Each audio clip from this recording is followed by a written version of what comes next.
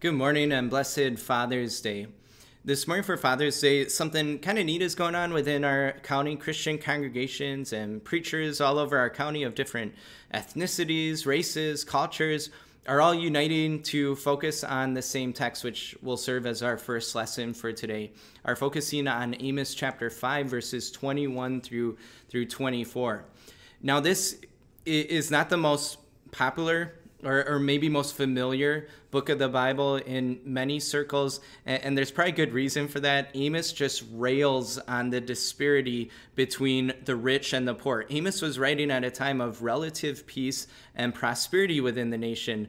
Uh, but what he had to say was not a very welcome message, especially if you were at the top or near the top of society, because he is just railing on those disparities between the rich and the poor and the lack of love, the lack of compassion that the rich have toward the poor. They're, they're lacking the Father's love towards them, their Father in heaven's love toward them. And, so Amos and the Father himself is calling for justice. Now, with everything going on in our country, we don't have the answers for everything that's going on, but we do have something to say about justice. We, we do have something to say, at least, uh, about biblical justice.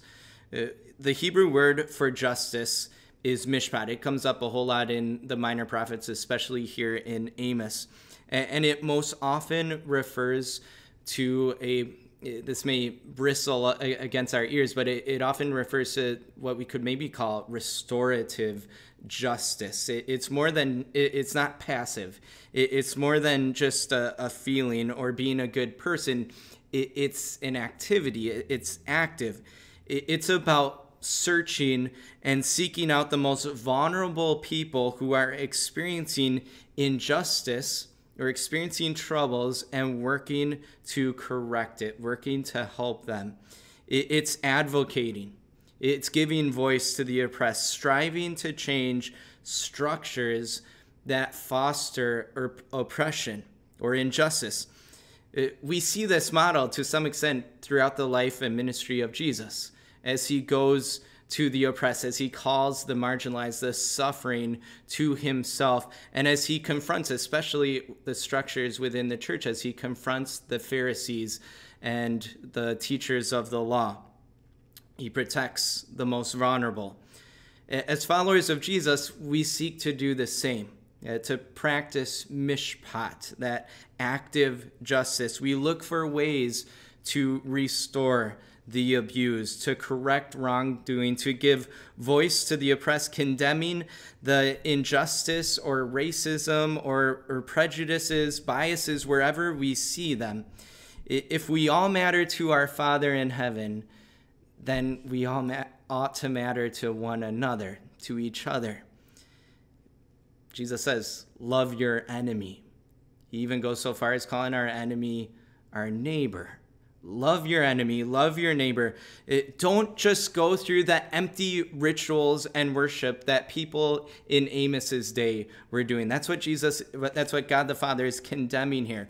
Bring proper worship to our Father by, by bringing it outside the walls of the church and extending our Father's generosity, His compassion, His love to all people.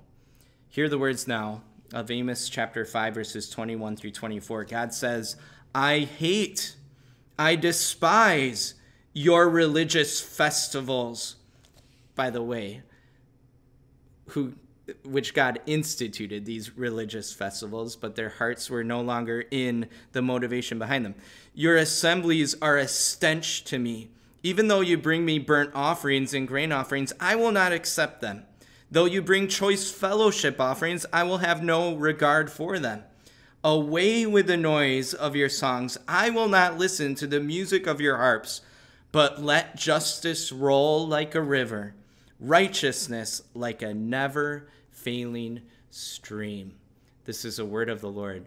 By the way that justice most clearly rolls like a river flowing from Jesus' blood on the cross that has forgiven us for all the times that we have not, that we've gone through this empty ritualistic worship.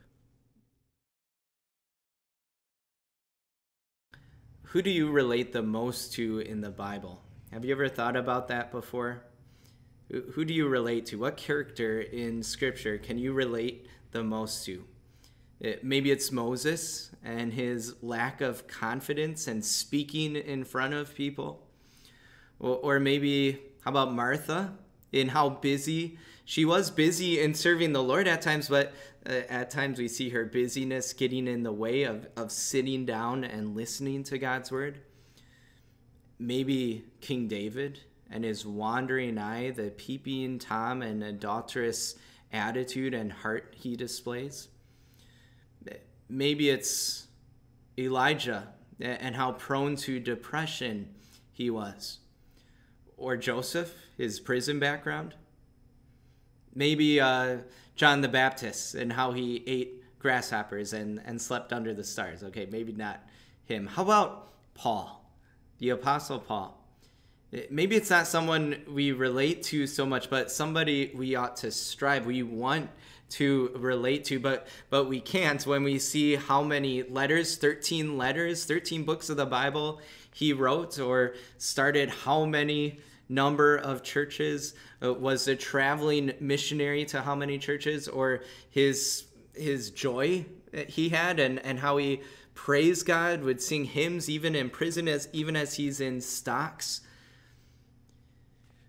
you know who could probably relate to Paul though? When we see these words in the first in the second lesson from First Timothy, it's probably a, a terrorist, somebody who terrorizes the church could certainly relate to Paul, or formerly known as Saul, because Saul was a terrorist. He terrorized the early Christian church. You remember how how badly Jesus was treated and, and what was said about him in the Sanhedrin. That's what Paul was saying uh, about the Christians before he met Jesus on the way to Damascus, chasing after refugee Christians. Okay, he loved nothing more than blowing up Christian families, separating them, it, seeing Christians stoned to death, just as he was there at, at Stephen's martyrdom, at Stephen's death. That's why Paul calls himself in First Timothy the worst of sinners. Now, normally we don't like to admit to our skeletons, to our sins, to our sinful identity. It's much more comfortable to say, look at that sinner over there. Look, can you believe what that person has done? But Paul clearly understood that when we're standing before God, he's not comparing us to anyone else in this world. We're going to see that in the gospel for today when sinners go to Jesus and they're self righteous, pointing out the sins of others, it, Jesus is going to leave them walking away as a sinner. Now, when sinners come to Jesus, we see who know that they're sinners, call themselves by their true identity the worst of sinners, Lord, have mercy on me. How do they leave Jesus? They leave Jesus forgiven. Okay, Jesus came not for the healthy, but for the sick. For the sick sinners. That No one can take away Jesus' promises to forgive. The fact that when God is looking at you, poor sinner, he's not comparing you to other anyone else other than Jesus, except it's not a comparison. It's a substitution. That's a promise you have that Jesus is your substitute who came for you, you sick sinner, to forgive you, to give you a new identity as saints. And so when sinners now come before Jesus, they leave as saints. When people go to Jesus as saints, claiming on their own that they're so good, they're going to leave as sinners. How, how do you come before Jesus? Hear these words now from the second lesson from 1 Timothy, Paul's letter to young pastor Timothy. I thank Christ Jesus our Lord, who has given me strength, that he considered me trustworthy, appointing me to his service, even though I was once a blasphemer and a persecutor and a violent man. I was shown mercy because I acted in ignorance and unbelief. The grace of our Lord was poured out on me abundantly, along with the faith and love that are in Christ Jesus. Here is a trustworthy saying that deserves full acceptance Christ Jesus came into the world to save sinners, of whom I am the worst. But for that very reason, I was shown mercy, so that in me, the worst of sinners, Christ Jesus might display his immense patience as an example for those who would believe in him and receive eternal life.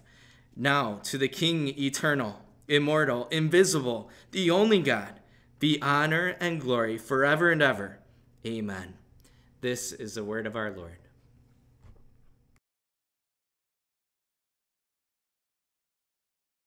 Okay, the gospel appointed for today comes at the most opportune time. The gospel reading appointed for this Sunday is Matthew chapter 9, verses 9 through 13. And this is a text that we all need to hear. Uh, I'm going to read it in just a, a few moments. Uh, I'd like to introduce it first. So, sometimes when Karen and I are looking to relax at the end of the day, we'll turn on the TV. And sometimes this is not a good way to relax, especially right now, but sometimes we'll turn on the news. And it's not really news so much, it's not at least firsthand news events, but most of the time it's commentary or it's a commentator's lens on the events. And so, normally, typically, what we're watching and what we're hearing is a, a person or a group of people's commentary on the news events. And I don't know if um, this is unique to our television, but at, at, least on Sling TV, for us, we have these two channels that are right alongside one another. You have CNN and, and, we have Fox News that are are right next to one another. And so sometimes, oftentimes, if we're watching the news, we'll we'll flip back and forth between the two, and it's a really interesting exercise. It's really interesting because um, the commentaries coming from the two channels couldn't be uh, more different at times. They're in uh, opposition to one another over some of the same events that they're commentating on. So it's striking just how different they can be. Uh, but what's also very interesting, what's also very striking, uh, maybe it's a little more difficult if you're not accustomed to it, but is looking for the similarities between the two. Uh, namely, I'm talking about the outrage, right? The outrage that is expressed, or the, the tribalism, the name calling, and the self righteousness coming from the commentators. Can you believe what the other side is doing? Don't you support black lives? Don't black lives matter to you? Don't you understand what police officers are going through? Don't you appreciate the, the blue lives, the, the sheriff deputies that are serving our communities, you're a racist or you're a communist. Okay, they, they couldn't be more opposing, and yet the similarities in the outrage or in the self righteousness, the, the looking and, and seeking to alienate rather than seeking for understanding or, or for educating one another. Okay, a week and a half ago, we were watching a bit of Fox News and Tucker Carlson, who's who has a at least appears to have a, a pretty elevated um, blood pressure going through most of his commentary. In, in, the middle of one of these monologues, he said something that was very revealing, and I, I, I don't know how sincere he was about this, and I haven't looked to see if he he has corrected this because he is a Christian, but he he denied in the middle of his commentary denied the christian doctrine of original sin said it would be crazy for anyone to believe that that a child could be born evil could be born into sin okay and, and you take that to its conclusion it, it becomes really easy to understand uh, the self-righteousness where self-righteousness can flow from that uh, when it's you who've made bad choices and, and I've made the good choices. I've, I've stayed in my innocent, my good ways, and, and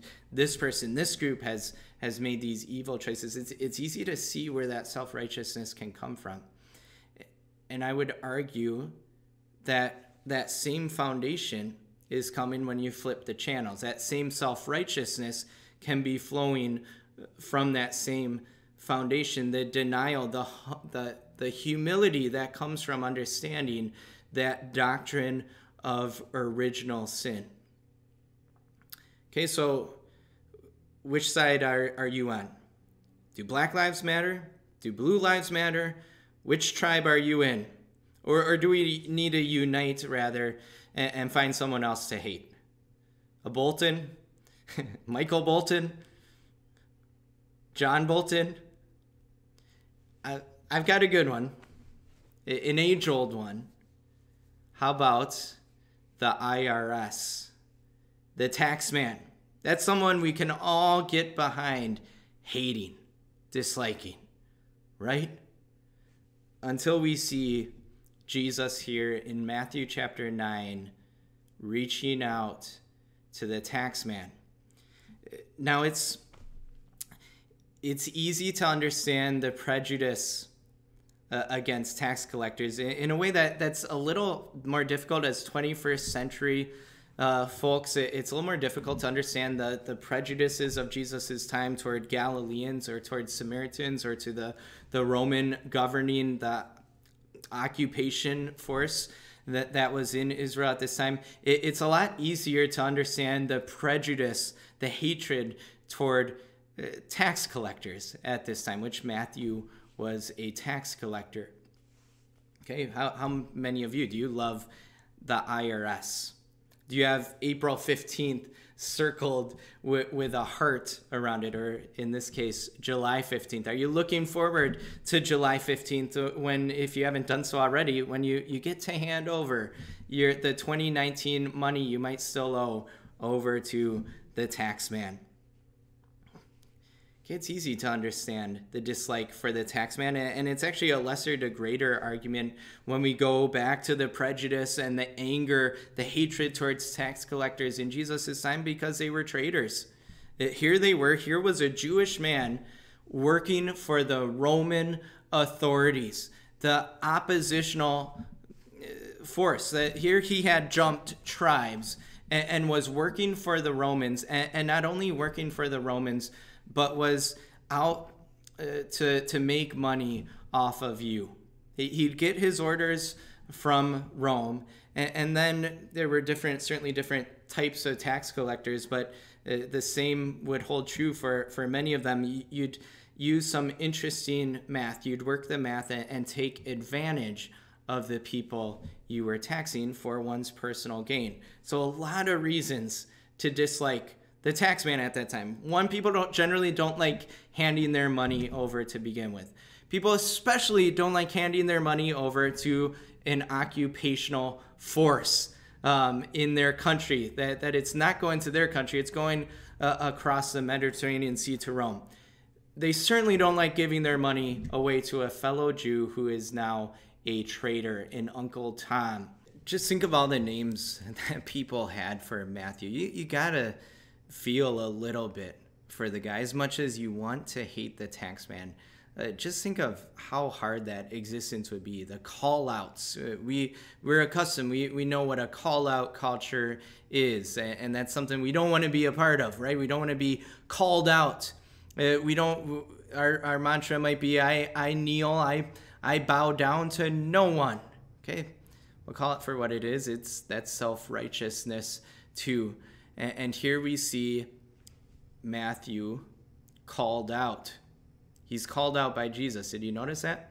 He's called out by the worst possible name he could be called. Jesus calls him a sinner. When it comes to Jesus, we need to be called out. There is a particular humility, a vulnerability we have as Christians because we recognize we're sick. God says, Be holy, be perfect. Love the Lord your God with all your heart, all your soul, all your mind. Love your neighbor as yourself. Jesus, who is my neighbor?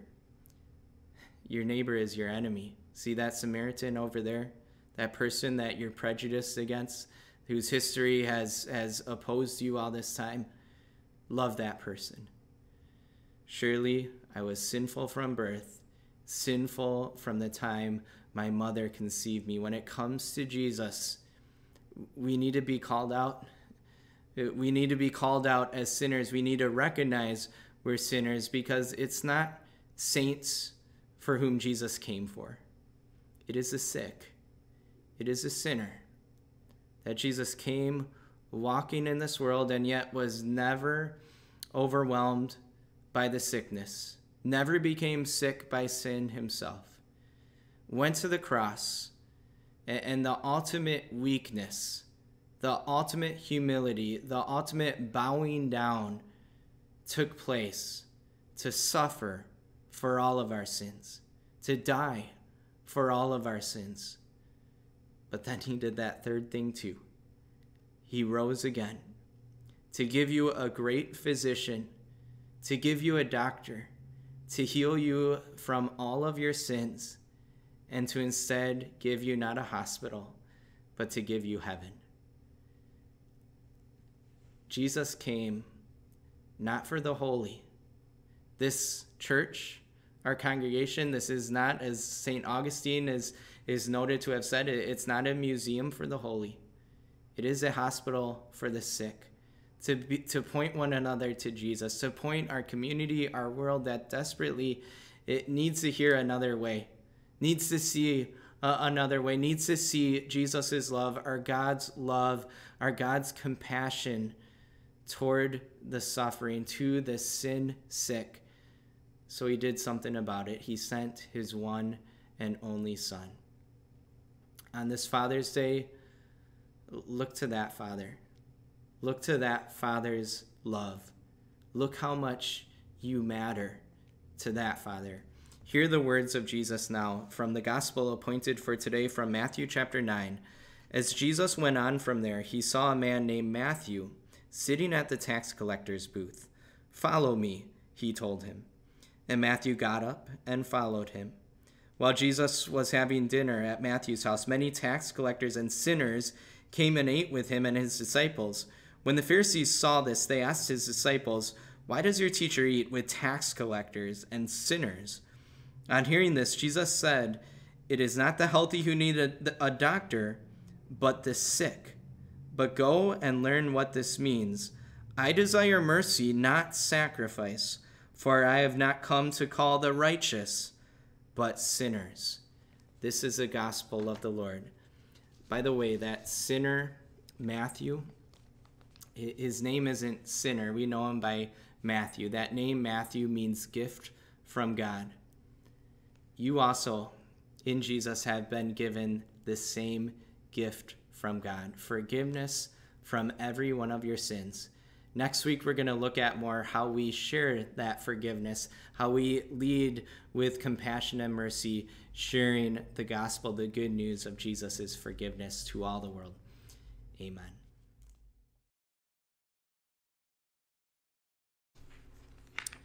Let us pray. Heavenly Father, bless all earthly fathers as they seek to fulfill the calling you have entrusted to them. Give them loving hearts and sound judgment to exercise godly family leadership. May they daily take to heart your admonition to not to discourage or embitter their children by treating them harshly or unfairly. Help them instead to bring up their children in training and instruction of the Lord. In loving Christian fathers, may children see reflections of you, the Father whose love is perfect and complete. O Lord of God, Lord of life and death, we also bring this before you. We thank you for all the mercies with which you have blessed our fellow believer, our sister in Christ, Anne Hoyer, who is now fallen asleep. We thank you especially for having brought Anne to the knowledge of your Son, Jesus Christ. We pray that you would comfort her husband, Phil, her sister, Mary, and all her family, and all who mourn her death with your precious promises cheer them with the sure hope of a blessed reunion in heaven. Grant the lifeless body rest, and at last, together with us all, a joyful resurrection to life everlasting. Teach us to number our days aright, that we may gain hearts of wisdom and finally be saved through Jesus Christ, our risen and everlasting Lord. Amen. Now, brothers and sisters, go in peace, live in harmony with one another, serve the Lord with gladness. The Lord bless you and keep you. The Lord make his face shine on you and be gracious to you.